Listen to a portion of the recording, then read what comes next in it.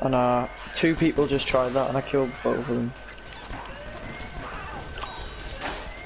That's a good long bomb. Damage. What? That was such a mad burrow. Not a burrow, just an E cancel. Fuck's